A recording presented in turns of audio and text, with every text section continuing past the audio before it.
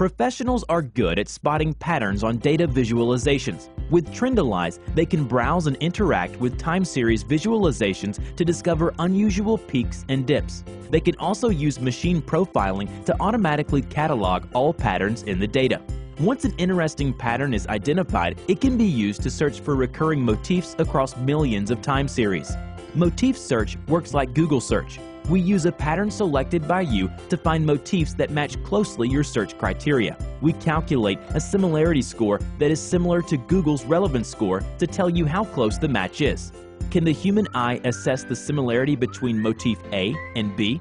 No. But our similarity score can tell you exactly that motif B is 95% similar to motif A.